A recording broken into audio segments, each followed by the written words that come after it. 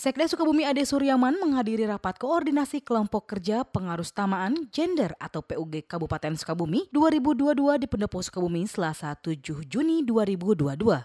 Kepala Dinas DP3A Kabupaten Sukabumi, Haji Eki Redana Rizky menyatakan tujuan rakor untuk membangun kesamaan persepsi dan mengoptimalkan pengambilan kebijakan mewujudkan kesetaraan gender dan hal itu terkait upaya meraih anugerah Parahita Eka Praya APE 2022. Sekda dalam arahannya menyebutkan bahwa pengarutamaan gender PUG adalah strategi untuk mengintegrasikan perspektif berbasis gender dalam pengembangan institusi, kebijakan, dan program kerja, termasuk di dalamnya desain dan pelaksanaan perencanaan, penganggaran, monitoring, dan evaluasi program kegiatan pembangunan. Terkait dengan perencanaan yang responsif gender, kemudian juga penganggaran yang responsif gender.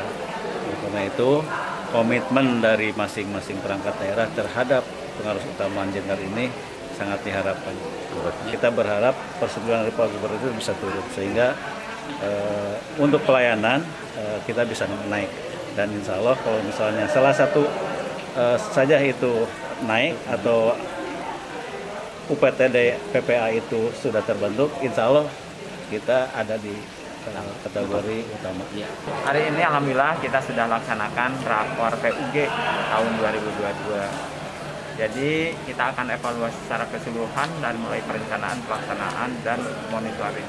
Karena tahun ini dua tahun sekali kan ada penilaian ya APE. Di penilaian itu Kabupaten Sukabumi kemarin sudah eh, di posisi media tiga tahun berturut-turut artinya 2016, 2018, 2020. Dan tahun ini tahun 2022 kita mengharapkan kita naik ke utama oleh karena itu kita eh, sama perangkat daerah yang lain tetap harus kerja keras, kebersamaan, dan komitmen semuanya dalam rangka menuju.